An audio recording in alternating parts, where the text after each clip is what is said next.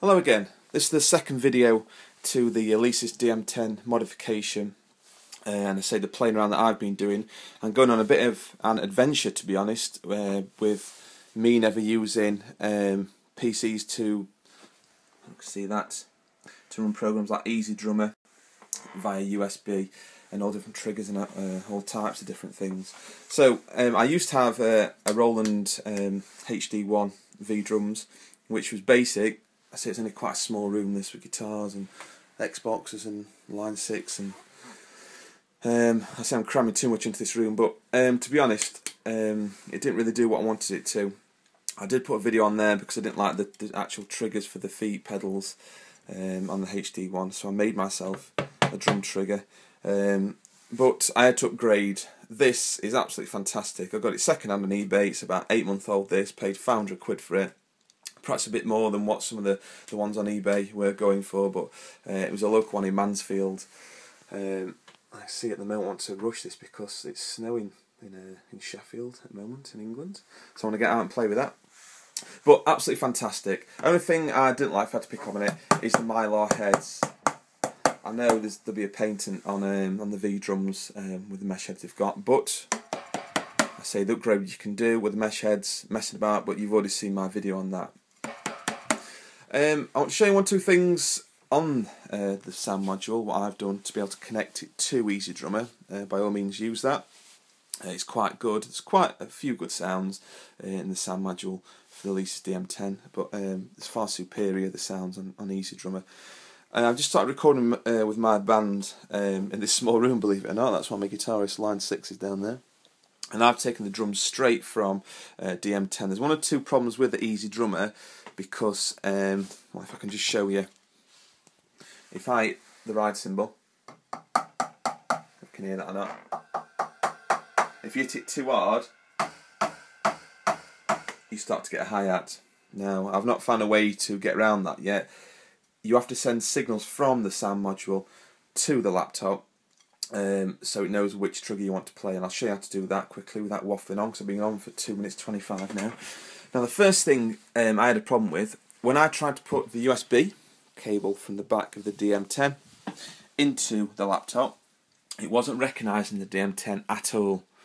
Now I tried to go through thousands and thousands, well, hundreds should I say, tens of um, different um, forums and websites and so on to try and find the problem for this. What you've got to do,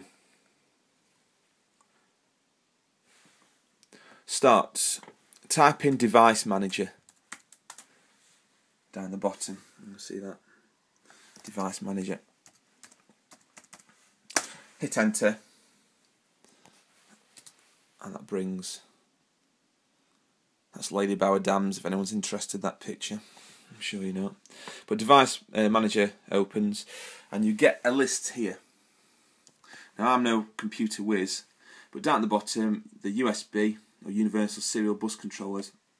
If you uh, you maximise that, those are all the USBs that your computer will be running off. So yours will have different numbers to what mine uh, have. But these first ones that say Intel R, how many's there? There's about two, four, six, eight, eight of them. Um, right click the mouse on that and go to uninstall. Right, uninstall those eight on there. Now switch your computer off. Uh, when you log it back on, it'll try and find the drivers um, for those. It'll not cause any damage. I was a bit dubious at first, but it won't cause any, any damage. Then when you plug your DM10 in, it does recognise it. Because without it, it's pretty useless. Now, to use EZdrummer, you need something called a VST. Don't ask what it stands for, because I've been in, I'm doing this for about two weeks. Um, I'm sure you can find out. Because um, buying EZdrummer on its own, um, it, it, won't work. You need this VST drummer. Now, I've got it through Tune Tracks, and it's one called Solo. It's only basic, but it works quite well. And the kits I've got with an EZdrummer is this Rock Pop kit and Drum Kit from Hell. Now, to be honest, this Rock Pop kit is really good. Really snappy snare.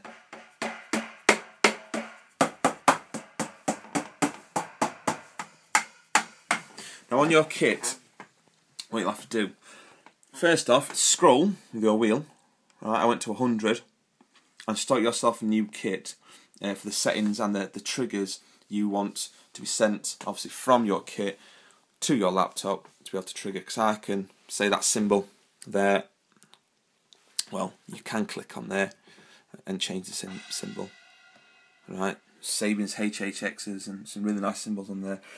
But I can assign that to play whichever trigger I want. So, if I can remember now how to do this, if you press utility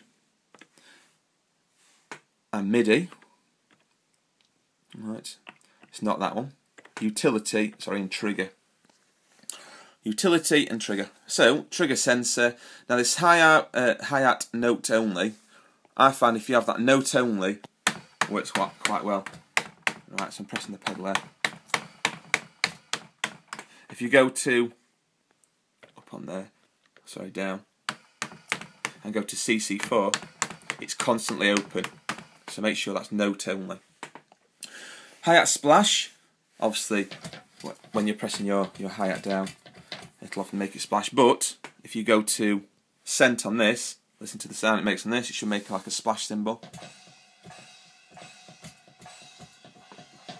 All this is coming from the PC, by the way, sorry, the laptop. So make sure that is on not sent. You can't have a splash in there, but you don't need that much.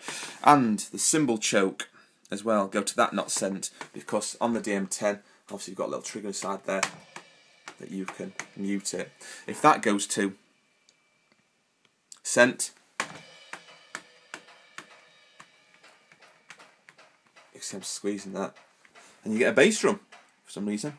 So simple things. I think Superior Drummer, obviously a lot more expensive. That is superior, more superior. Um, make sure that's sent as well. Um, other things you can do as well to change. I'll show you how to do it. To change, if I hit the snare to get a different sound or different cymbals from my kit onto there, what you have to do is go to ins. Sorry, let's go that again. You go to on here, instrument there, then MIDI.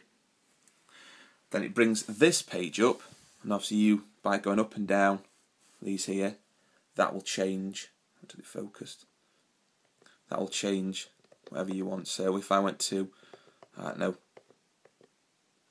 um, Tom HD1 um, that's at the moment MIDI note at 48C2 now if I just go down to that if I can remember it's on 48 got a memory like a sieve. Start hitting that. Right, if I start changing that up to, I don't know, 58, get the same one there, I'm starting to get a cymbal. So that's how you change. It's got to be sent from the sound module to the PC. That's where I struggled first. I didn't know to do that, but hopefully this will help you guys. So 48, I think it was. Yeah. Sounds cool. Now I'm just going to put drum kit from uh, from Hell on to rock and pop up here. It's like that. Drum kit from hell. Takes a while to load. I'm going to plug my iRig. I'm going to play my guitar. I'm going to plug that into the phone now. That's going into the, the, the laptop, and you can have a quick uh, hear at some of the sounds and see if I can make a fool of myself playing these drums.